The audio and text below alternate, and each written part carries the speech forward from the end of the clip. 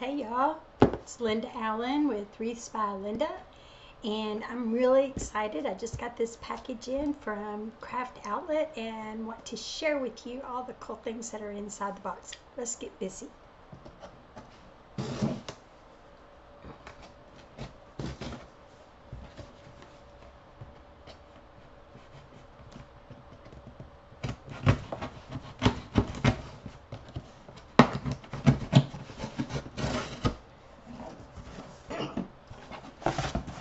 I had um, bought this cute little sign the other day. Can you see that? Home is where your honey is.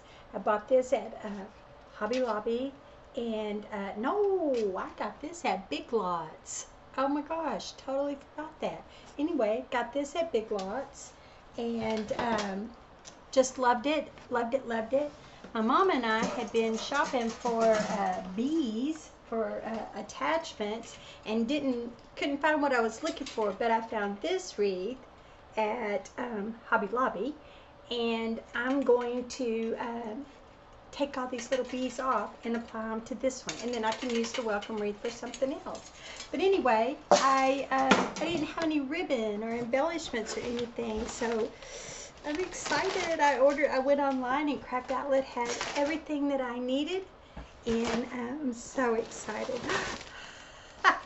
Look how cute. Can you see it? They're little, they're little beehives.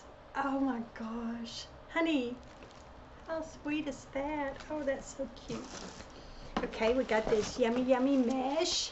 Look at that, fabric stripe mesh. Not, isn't that nice? okay. Oh, black and white and with daisy print ribbon and yellow and black and white polka dots and stripes. Got this big bee. That's so pretty. And the bee is the same, um, kind of the same pattern that's on the sign. It's a, it's a little different in color, but it's okay. I don't care. Look at this the rickrack and the yellow stripe. Isn't that adorable? Oh my gosh. Oh my goodness sakes. And what is this? Look, it's a big 50 foot roll. It's yellow with black polka dots. We'll be doing all kind, probably, I think they call this Swiss dots. I don't know. They are a little bit raised. But yeah, it says Swiss dots right there. Anyway, this is going to be so cute. I cannot wait to get started. Thank you, Craft Outlet. Thank you. I'm gonna um, come back later and do the wreath. Thanks again for joining me.